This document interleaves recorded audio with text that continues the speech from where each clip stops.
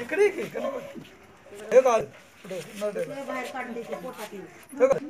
हे काढलं हे काढलं हे काढलं तो हे काढलं हे वाटे बघ.